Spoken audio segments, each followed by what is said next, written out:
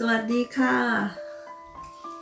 Hello everybody welcome back to Jiras Thai kitchen from Scotland This weekend I'm going to show you another simple Thai dish It's called Thai steamed seafood curry this menu is very easy and tasty.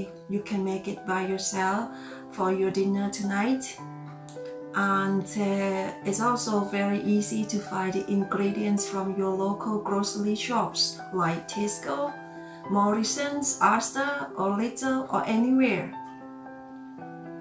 The major ingredients that I'm going to use is a Thai red curry paste and then the, the seafoods like any type of seafood you prefer but in these videos I'm going to use the tiger prawns, squids, codfish, and another ingredients are coconut milk, lime leaves, some steamed uh, cabbage, and the Thai sauce like fish sauce and other stuff.